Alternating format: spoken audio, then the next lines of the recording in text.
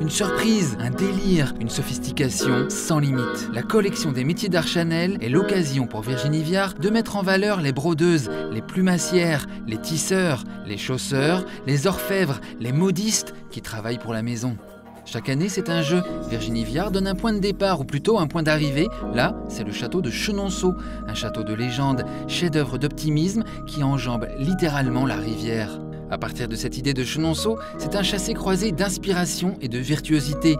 Les lions partout dans le château et que Gabriel Chanel adorait se retrouvent sur les boutons. Le damier du sol de la galerie du château se retrouve tissé sur des tweeds élaborés ou sur des sacs luxueux. C'est des rubans de gros grains.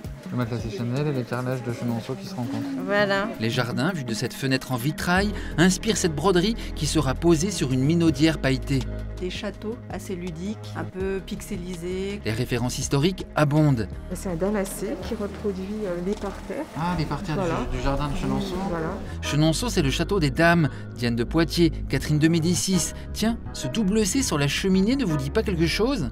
Les héroïnes de Chenonceau sont des femmes d'État, des amoureuses, des épicuriennes, des esthètes. Des croisillons de velours qui évoquent les tenues des reines de la Renaissance. Leurs bijoux très baroques se retrouvent réinterprétés. On reproduit les fantaisies de leurs cols sculpturaux, les motifs géométriques des boiseries, les effets de passementerie des tentures, le graphisme du jardin, tout se retrouve interprété. Un grand rébus, en musique, on appelle ça une fugue. Et dans les ateliers de Gossens, de Le Marié, de Le Sage, de L'Oignon, de Montex, de Paloma, de Maison Michel, de Massaro, c'est l'effervescence pendant quelques semaines pour tout préparer la collection des métiers d'art. On invente ou réinvente des broderies, juste pour un revers de veste. C'est magnifique. Ça donne un effet de, de fer forgé, euh, un arrondi très très rond pour former et lui donner la souplesse. C'est tout un travail. On répète aussi des gestes sans âge, comme ici chez le plisseur L'Oignon et sa musique très précise.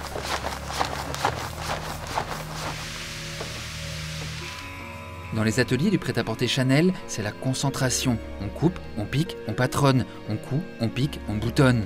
C'est très beau, c'est hyper beau. Ok, super. Merci Amanda. On échafaude des broderies à la sophistication sans limite, juste pour le plaisir de faire encore plus beau, plus étonnant, jamais vu, rassurant de beauté.